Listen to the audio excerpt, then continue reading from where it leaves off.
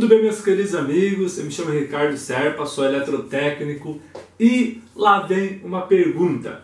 Você já ouviu falar em alupin, bipino, par 20, decroica? São nomes utilizados dentro da instalação elétrica, mas eu no começo me arrebentei todo, porque o cliente pedia isso e eu não sabia o que era.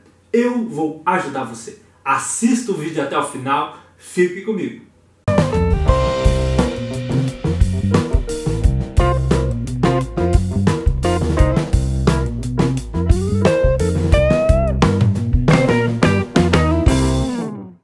Amigos, a gente está na área há bastante tempo, né? Inclusive eu usei essa experiência para fazer um curso. Temos cursos completos com certificado. As informações dos nossos cursos estão aqui embaixo na descrição do vídeo. No início da minha profissão eu tive diversas dificuldades. Acho que a principal foi o orçamento. Eu já fiz um vídeo sobre isso. Mas outra é que eu pegava o serviço e via vários e vários nomes eu não sabia o que era. O cliente dizia, eu preciso trocar duas AR70 preciso trocar. Do... O cliente sabe o nome, porque ele compra, vem na caixinha e eu comecei a me arrebentar porque eu não sabia o que era. E é claro, com o passar dos anos eu fui aprendendo. Tudo isso são tamanhos, tipos e nomes de lâmpadas utilizados nas instalações elétricas. A gente conhece muito a lâmpada incandescente, a lâmpada eletrônica compacta, que nada mais é do que aquela lâmpada econômica, né? A gente conhece as lâmpadas LEDs, mas existe uma infinidade de lâmpadas. Você tem lâmpada par 20, vou mostrando aqui. Você tem lâmpada par 30, você tem lâmpada AR70, você tem lâmpada AR111, você tem lâmpada bipino, lâmpada alupin, lâmpada decroica, lâmpada mini decroica, e meu Deus do céu, quanta lâmpada! E tem muito mais. Lâmpada de vapor é, metálico, lâmpada mista, a, a, lâmpada incandescente. Meu, se for falar que a gente fica uma hora e você vai encerrar o vídeo sem ver até o final. Mas, queridos, antigamente essas lâmpadas aí era tudo é, lâmpada é, incandescente, né? eram lâmpadas é, incandescente, eram lâmpadas halógenas né, lâmpadas quentes, que aí tinham grande proporção de calor e pouca proporção de luminosidade, né? E aí foi entrando as lâmpadas LEDs. Mas antigamente essas lâmpadas, a grande maioria era utilizada com transformador, né, com, com driver, ou seja, entrava a tensão alternada de 110 ou 127 ou 220 e saía a contínua de 12 volts né? E aí você tinha os dados. Chegava na residência, olhava ali, tinha uma, duas ou três lâmpadas. Essas lâmpadas a maioria é tudo embutida, tá? Tava embutida no gesso ou tava embutida no fogo e tava queimada. Aí eu pegava a moto e ia comprar a lâmpada. Quando chegava eu trocava, não estava funcionando.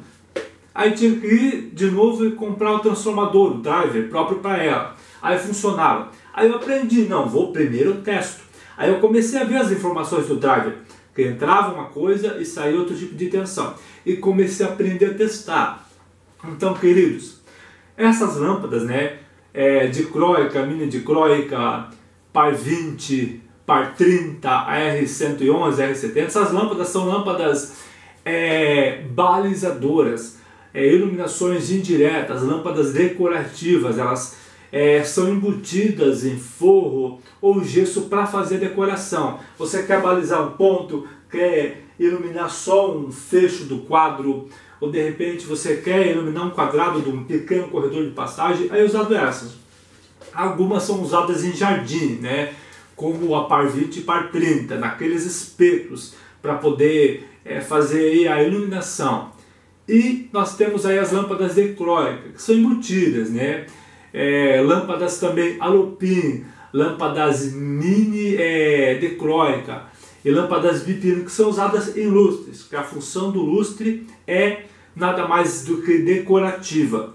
Se algum cliente quiser te contratar para fazer a instalação de um lustre para iluminar um ambiente sem mais nada, orienta o cliente, olha, o lustre é decorativo.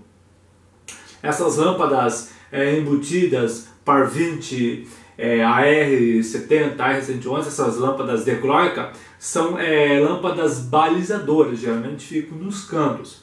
O lustre geralmente ou fica centralizado para balizar o ambiente ou nos cantos para balizar uma mesa, alguma coisa. E a iluminação direta são as iluminações centrais, que inclusive a gente tem no estúdio, que essas luminárias sobrepostas ou embutidas. Então cada luminário tem uma função, claro que o arquiteto pode escolher o que quiser, né? Mas as iluminações têm as suas funções, né? E eu não sabia, com o tempo fui aprendendo. Então quando você ouvir um nome estranho, em vez de olhar para o cliente e dizer eu não conheço essa lâmpada, cliente ligar para você, você troca tal lâmpada, né? Diz que troca, porque você vai ter que trocar. Aí você vai na internet e busca informação. Na minha época, há 20 anos atrás, não tinha isso, né?